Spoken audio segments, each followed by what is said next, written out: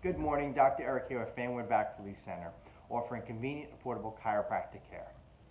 Today we're going to talk about how facial pain can be caused by the neck. Dysfunction in the neck is known to either cause or contribute to headaches and or jaw pain.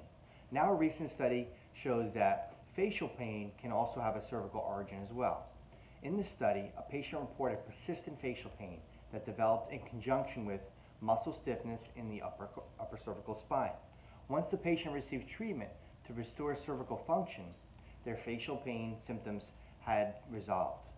So it's just one area to check. Um, if you do have facial pain, it can be uh, contributed by the, some dysfunction in your neck. Uh, chiropractors work with finding that dysfunction. So if you are experiencing this, please give us a call.